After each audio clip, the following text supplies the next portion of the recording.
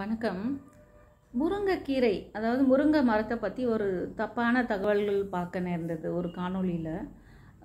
ஒரு அம்மா ஒரு பெண்மணி வந்து அதாவது ஜாதக ரீதியாக வந்து வீட்டில் முருங்கை மரம் வந்து வளரவே கூடாது.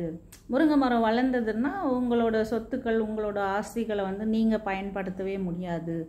அப்படிங்கிற மாதிரி சொன்னதை பார்த்தேன். மிகவும் வருத்தப்பட வேண்டிய விஷயம் இது.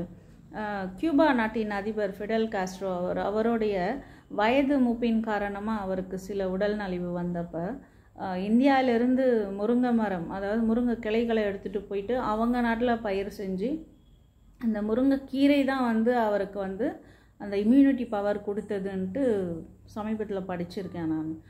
இப்போவுமே வந்து சமீபத்தில் கொரோனா வந்தப்போ கூட வந்து அந்த நாட்டில் வந்து யாருமே வந்து தாக்கப்படலை. என்ன ரீசன் அப்படின்னா அவங்களுக்கு வந்து இயற்கையாகவே வந்து இம்யூனிட்டி பவர் வந்து நல்லா இருந்தது அப்படிங்கிறது தான்.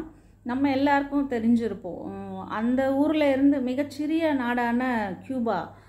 அந்த நாட்டில் வந்து வீட்டுக்கு ஒரு முருங்கை மரம் கட்டாயம் வேணும் கட்டாயம் வளர்க்கணும் அப்படின்ட்டு அந்த நாடே வந்து சட்டம் போட்டிருக்கு அப்படிங்கிறதையும் நான் படித்தேன் ஸோ இந்த மாதிரி அந்த ஊரில் வந்து கல்வி இலவசம் மேக்சிமம் யாரும் வந்து வாடகை வீட்டில் இல்லை.